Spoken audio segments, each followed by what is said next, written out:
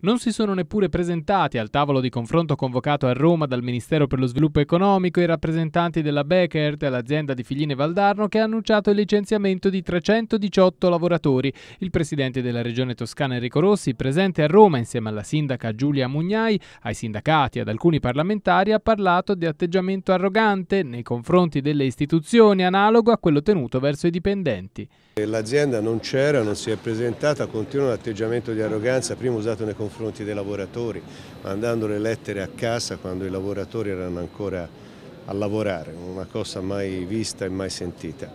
Eh, adesso ci sarà un incontro sindacale, poi saremo nuovamente riconvocati al Ministero.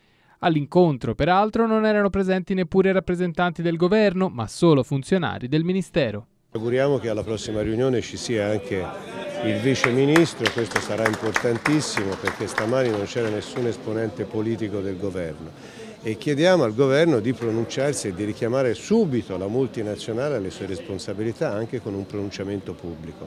Insieme alla multinazionale Beckert bisogna richiamare in causa anche Pirelli. Pirelli era stata padrona di questo stabilimento fino a tre anni fa, un accordo commerciale ed è coinvolta, deve essere coinvolta in questa partita. A Becker dobbiamo chiedere ovviamente immediatamente il ritiro dei licenziamenti e aprire un tavolo su cui discutere per continuare a produrre come si è sempre fatto in Toscana in questo stabilimento.